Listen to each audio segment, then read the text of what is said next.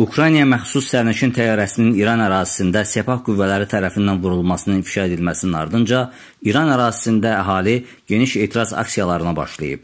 Dünən Tehranın bir sıra universitetlərində başlayan aksiyalar bugün ölkənin müxtəlif şəhərlərində də davam edib.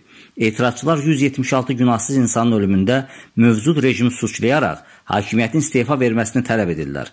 Bu saatlarda paytaxtın Azadi prospektində geniş etiraz yürüşləri davam edir.